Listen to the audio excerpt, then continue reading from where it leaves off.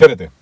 Λοιπόν, έχουμε μιλήσει πάρα πολλές φορές για τη μετριότητα. Μέσα στη μετριότητα είναι και οι κακοί άνθρωποι, αυτοί που έχουν μαύρη ψυχή, για να μην το πω κάπως αλλιώς, οι οποίοι προσπαθούν συνεχώς να σας κάνουν ένα με αυτούς. Λοιπόν, πάνω σε αυτό θα σας πω κάτι πάρα πολύ σημαντικό. Να ξέρετε ότι εάν δεν το πετύχουν, δεν σημαίνει ότι τέλειωσε εκεί το, το παραμύθι. Δεν σημαίνει ότι κέρδισες στο να ακολουθήσεις τον δρόμο της ζωής σου, τον τρόπο της ζωής σου, έτσι όπως εσύ ξέρεις, μακριά από την μετριότητα και τους κακούς ανθρώπους. Θα σε πολεμήσουν με κάθε τρόπο, διότι δεν δέχονται, δεν μπορούν να δεχθούν ότι κάτι καλύτερο όσον αφορά τον τρόπο ζωής μιλάμε τώρα, έτσι. Όσον αφορά το να μην είσαι μαυροψύχης.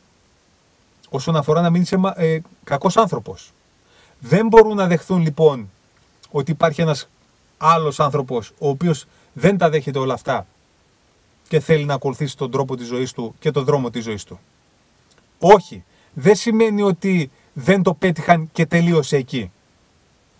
Να γνωρίζετε λοιπόν ότι θα σας πολεμήσουν με ψέμα, με μεγαλύτερο ψέμα.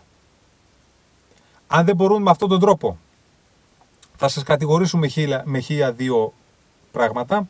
Αν δεν μπορούν με αυτόν τον τρόπο, θα προσπαθήσουν να σας βλάψουν μέσω τρίτων, από γονείς, φίλους, οποιονδήποτε γνωρίζουν ότι έχετε εσείς πάρε δώσε. Αυτά που σας λέω είναι νόμος. Να το ξέρετε. Δεν σκέφτονται όπως εσείς. Όχι.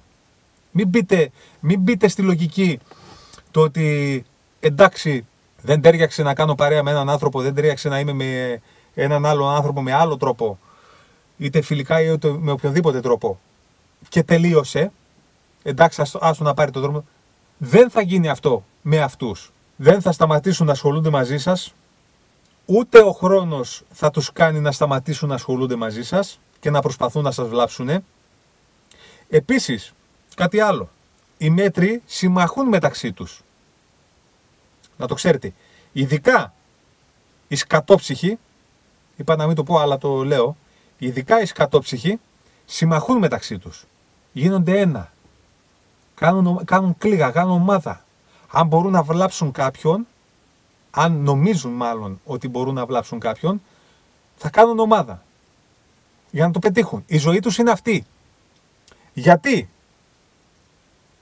Γιατί; Εάν υπάρχει κάποιος ο οποίος ξεχωρίζει από αυτούς, είναι αυτός που τους κάνει να φαίνονται μέτροι. Καταλάβατε; Από μόνοι τους δεν μπορούν να αντιληφθούν τη μετριότητα παρά μόνο όταν υπάρχει κάτι άλλο ή κάποιος άλλος δίπλα τους για να τους το θυμίζει. Γι' αυτό λοιπόν πρέπει να σε πολεμήσουν. Για να αισθανθούν καλύτερα αυτοί.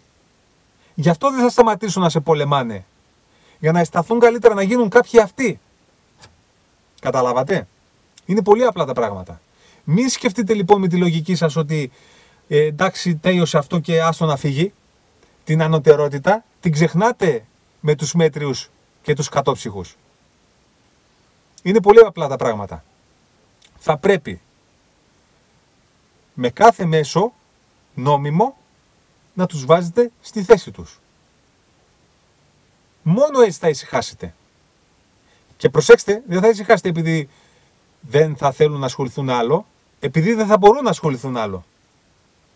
Να το θυμάστε πάλι αυτό. Δηλαδή, αν τους δοθεί ευκαιρία κάποια στιγμή στο μέλλον να μπορέσουν, πάλι θα ασχοληθούν μαζί σας.